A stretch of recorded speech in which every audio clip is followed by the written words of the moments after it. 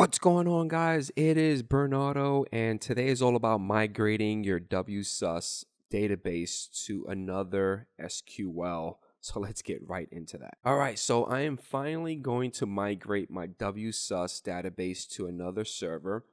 And the reason why is because I supposed to, I mean, any admin supposed to log in into their configuration manager or their endpoint configuration manager and then go inside the monitor tab, go inside system status, site status, and then make sure that everything is green here. I haven't done that for a long time. And when I finally did, I noticed that my software update point was critical. Mm, I know, right?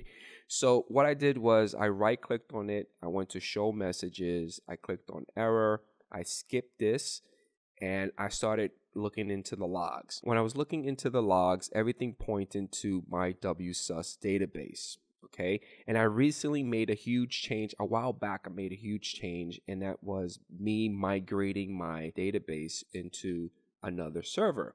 And I shut down all the services locally. But I forgot that my WSUS database was also running locally within my endpoint configuration manager server. So that was a problem. So basic troubleshooting. Uh, I opened up my update services and I saw that I got this. I did reset the server node. I kept on doing that. Nothing happened. I went into services. I started the services. Nothing. I then launched the server management studio and I was trying to log in into the SQL server. I clicked on connect and I got this.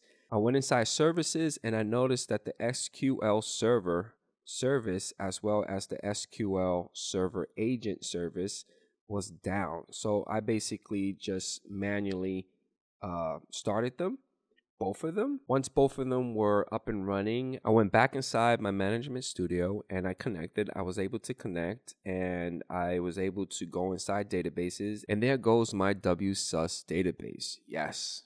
All right. So the next thing that I did was I went back inside the update services console. I restarted it and it launched up with no problem. This is a good thing right? But it's time for us to migrate it over to my new SQL server. And my SQL server, this is my BJ SQL.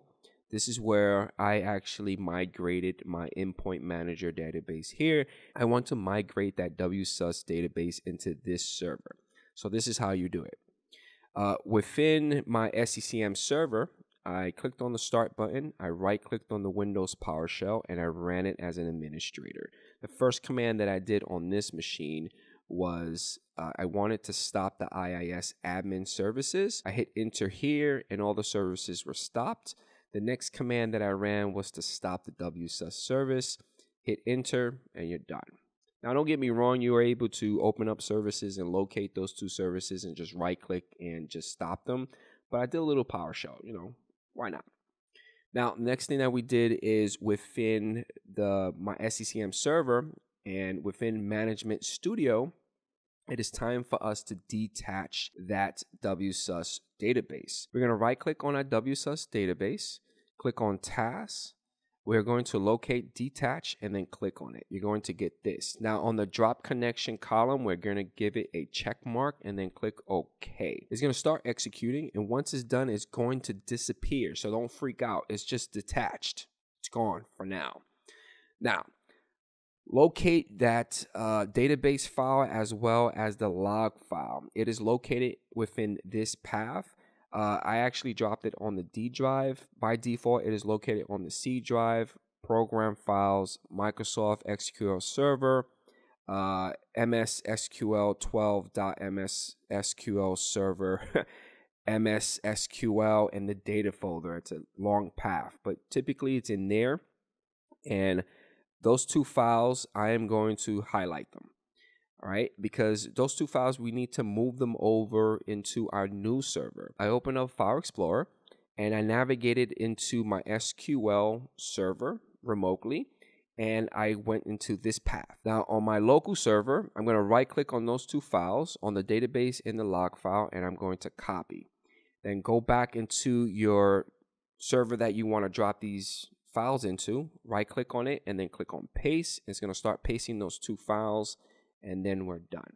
So we're going to head back into our SQL server. Now within your SQL server, we're going to highlight databases. We're going to right click on it and we're going to click on attach. Now within the attach window, we're going to click on add and it's going to directly take you to the data folder, which is a good thing. You're going to see your WSUS database. So select it, click OK, and done. It's going to automatically pre-populate the log file for you and you should be good to go. Just click OK and then you're going to see your WSUS database attached within your new SQL server. Your database is attached, there goes. You're probably saying to yourself that you're done, but you're not really done. So we're gonna head back inside the SCCM server, right? Within my SCCM server, I'm gonna right click on the start menu and then click on run and I'm going to type in reg edit and then click OK. Within the registry, we need to make some modifications because by default, the SQL server name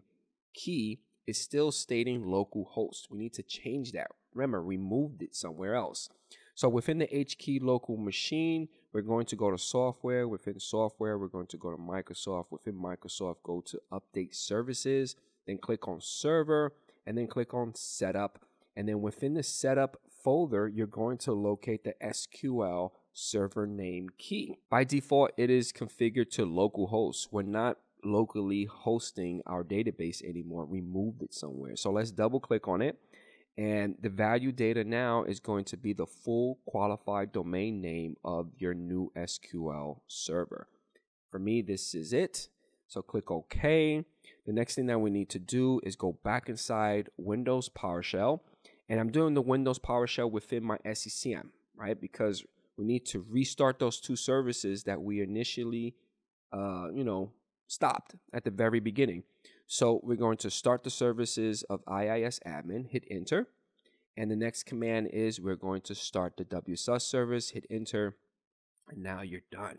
Now to confirm that everything is working, click on start, go all the way to the bottom and locate the Windows Administrative Tool folder, and then locate your Windows Server Update Services uh, application and click on it and this should start. If it doesn't start and you get the whole server reset node, I kind of advise you to restart the entire server, but this is a good sign. And that's it. Hopefully you guys enjoyed this video and I catch you guys on the next one. Peace out.